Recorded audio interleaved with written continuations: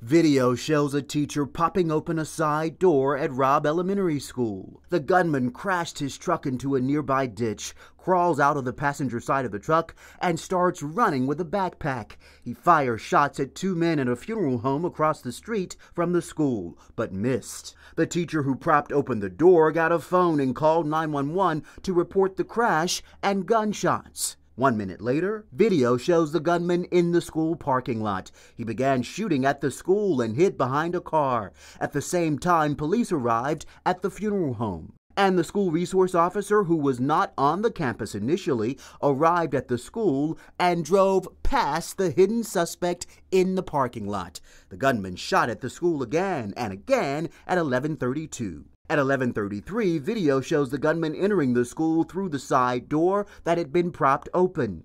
DPS says the gunman fired more than 100 rounds at that time into rooms 111 and 112. At 11:35, 5 minutes after the 911 call, three police officers went into the school through the same propped open outside door. DPS says the gunman then shot two of the officers through the closed classroom door, grazing them with bullets. Three other Uvalde police officers and a deputy county sheriff also went into the school. There was more gunfire at 1137, 1138, 1140, and 1144. At 1151, a police sergeant and border patrol agent start to arrive. 12 minutes later, 19 law enforcement officers were inside the hallway. Both classroom doors were locked. At the same time, 1203, a student inside classroom 112 called 911. At 1210, the same caller told 911 there were multiple dead.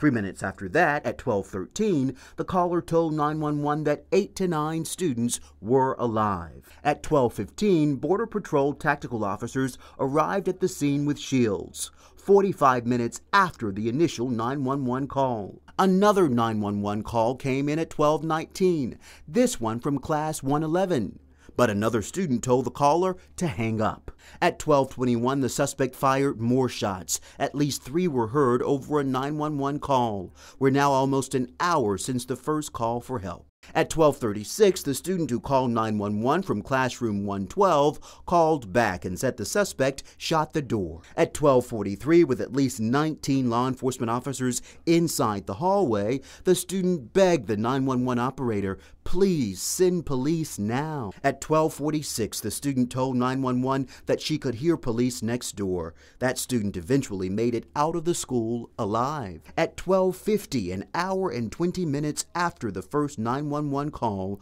officers breached the door using a janitor's key and killed the suspect.